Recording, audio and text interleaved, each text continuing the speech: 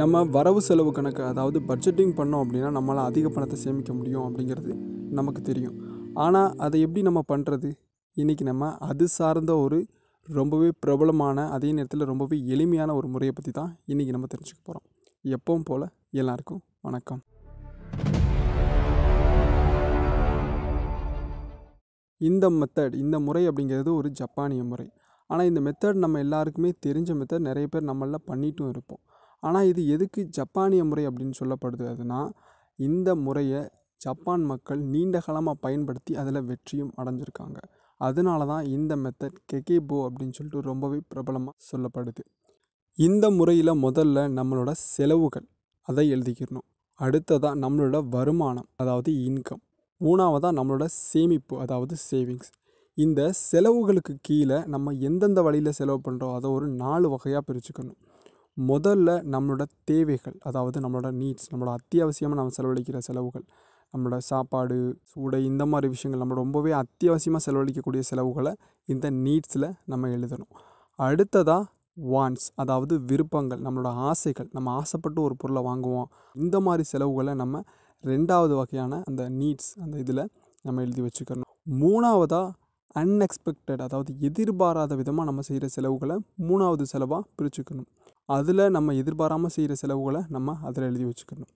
நாலாவதாக நம்ம இந்த கலாச்சாரம் சார்ந்த இந்த திருவிழாக்கள் விழாக்கள் ஒரு திருமணத்துக்கு போகிறது ஒரு தீபாவளி வந்துட்டா பொங்கல் வந்துட்டால் நம்ம சிறிய செலவுகள். இந்த மாதிரி நம்ம செலவழிக்கிற செலவுகளை கலாச்சாரம் சார்ந்த செலவுகள் அல்லது கலாச்சார செலவுகள் அப்படின்னு சொல்லிட்டு அதில் போட்டு நம்ம எழுதி வச்சிடணும். இது நம்ம எல்லாத்தையும் எழுதிட்டோம்னா இதுக்குள்ளேயே நம்ம செய்கிற செலவுகள் எல்லாமே இதுக்குள்ளேயே வந்துடும் இதுக்கு அடுத்ததாக நமக்கு என்னென்ன வருமானங்கள் வருது அப்படிங்கிறத எழுதணும்.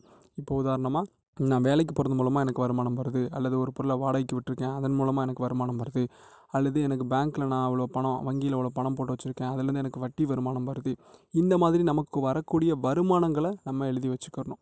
அதுக்கு அடுத்ததாக நம்ம எவ்வளோ பணத்தை சேமிக்கிறோம் எந்தெந்த வழியில் சேமிக்கிறோம் அப்படிங்கிறதையும் நம்ம எழுதி வச்சுக்கணும் இது எல்லாத்தையும் நம்ம எழுதி வச்சுட்டோம் அப்படின்னா நமக்கு எந்தெந்த வழியில் நம்மளுக்கு வருமானம் வருது அப்படிங்கிறது தெரிஞ்சிடும் நம்மகிட்ட எவ்வளோ பணம் இருக்குது அப்படிங்கிறது நமக்கு தெரிஞ்சிடும் அடுத்ததாக நம்ம எவ்வளோ பணத்தை செலவழிக்கிறோம் அப்படிங்கிறதும் தெரிஞ்சிடும் எந்தெந்த வழிகளெலாம் நம்ம செலவழிக்கிறோம் அப்படிங்கிறதும் நமக்கு தெரிஞ்சிடும் அதுக்கு அடுத்து நம்ம எவ்வளோ பணத்தை சேமிச்சிருக்கோங்கிறதும் நமக்கு தெரிஞ்சிடும் இதெல்லாம் நமக்கு தெரிஞ்சிடுச்சு அப்படின்னா நம்ம எவ்வளோ பணத்தை சேமிக்கணும் அப்படிங்கிறதும் நமக்கு தெரிஞ்சிடும் இது தெரிஞ்சிடுச்சு அப்படின்னா நம்மளால் அதிக பணத்தை சேமிப்புக்கு கொண்டு போக முடியும். இது எல்லாத்தையுமே நம்ம கையால் தான் எழுதணும். எல்லாத்தையும் எழுதி வச்சிடணும் எந்த விதமான டெக்னாலஜி எந்த விதமான தொழில்நுட்பத்தையும் நம்ம பயன்படுத்தக்கூடாது. ஒரு ஃபோனில் நான் நோட் பண்ணி வைக்கிறேன். இந்த மாதிரி எதுவுமே இருக்கக்கூடாது.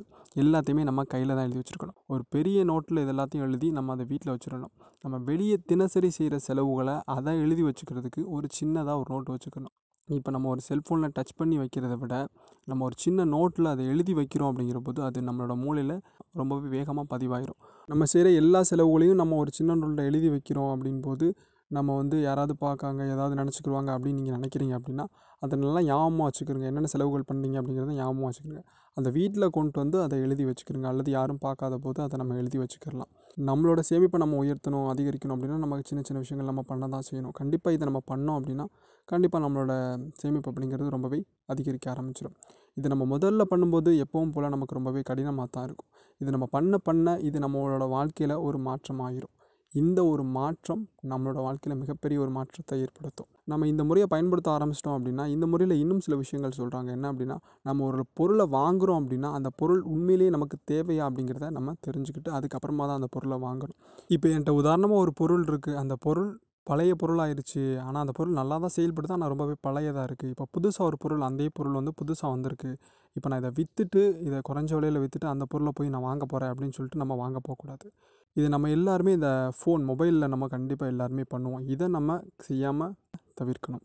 உண்மையிலேயே அந்த பொருள் நமக்கு தேவையானதாக இருக்கா அப்படிங்கிறத தெரிஞ்சுக்கிட்டு அது உண்மையிலேயே தேவைப்படுது அப்படின்னா அந்த பொருளை வாங்கிக்கணும். தேவையில்லாத செலவுகளை நம்ம குறைச்சிட்டோம் அப்படின்னா நம்ம உண்மையிலேயே தேவையில்லாத செயல்களையும் செய்ய மாட்டோம். ஸோ அதெல்லாம் நமக்கு குறைய ஆரம்பிச்சிடும் இப்படி நம்ம சேமிக்கிற பணத்தை நம்ம நல்ல விஷயங்களுக்கும் நல்ல செயல்களுக்கும் நம்ம செலவழிக்க ஆரம்பிச்சிருவோம். இந்த முறை நம்மளோட செலவுகளில் மட்டும் ஒரு கட்டுப்பாட்டை கொண்டு வராது. நம்மளோட செயல்களையும் ஒரு கட்டுப்பாட்டை கொண்டு வரும். இந்த முறை உங்களுக்கு எந்த அளவுக்கு பயனுள்ளதாக இருக்கும் இதை பற்றின உங்கள் கருத்துக்களை மறந்துடாமல் கீழே பதிவு பண்ணுங்கள் இதில் ஏதாவது உங்களுக்கு சந்தேகம் இருந்தாலும் மறந்துடாமல் கீழே பதிவு பண்ணுங்கள் மீண்டும் சந்திப்போம். நன்றி. வணக்கம்.